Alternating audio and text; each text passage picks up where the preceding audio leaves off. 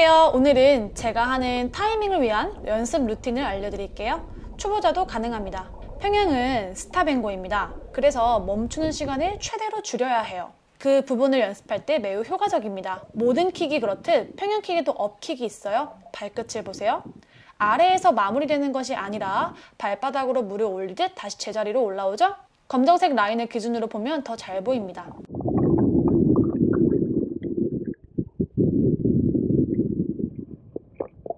뒤에서 볼게요.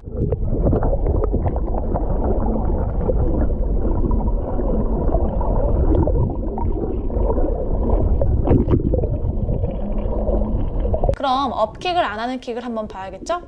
이렇게 아래로만 자꾸 떨어지게 되면 가라앉는 현상이 더 심해집니다.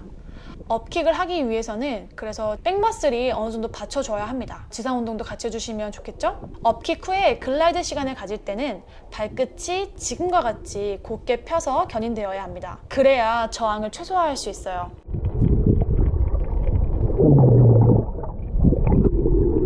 그간 평형킥 연습할 때 업킥을 생각하지 못했다면 앞으로는 신경 써서 연습해 보세요.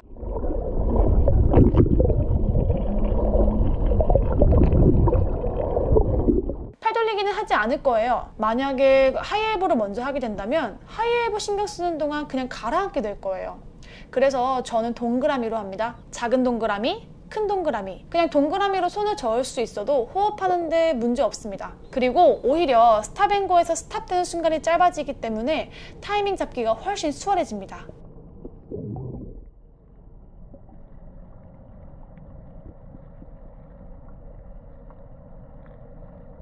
동그라미로 물을 저었을 때 팔꿈치가 몸쪽으로 붙지 않게 최대한 멀리서 동그라미를 젓는다고 생각해 보세요. 그래도 팔꿈치가 굽혀질 거예요. 그냥 그 정도만 하셔도 괜찮습니다.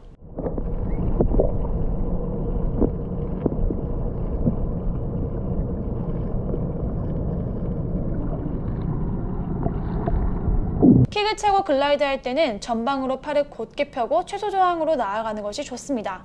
머리를 들어서 앞을 보지 않게 유의해 주세요. 동그라미가 크면 클수록 팔에 느껴지는 압은 크겠죠? 그리고 빠르게 되돌릴 수 없게 되니 근력이 약하다면 작은 동그라미부터 슬슬 올려보세요.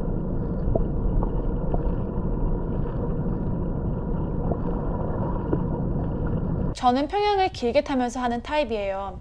저랑 타입이 맞다면 타이밍 맞출 때 도움 되실 거예요.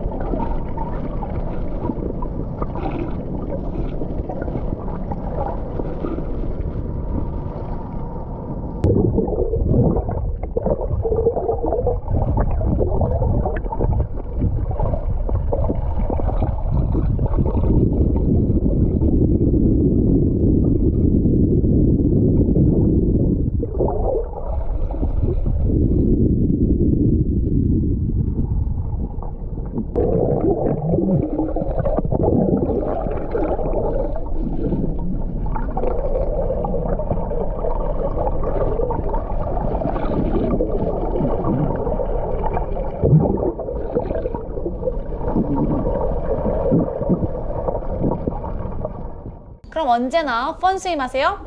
안녕!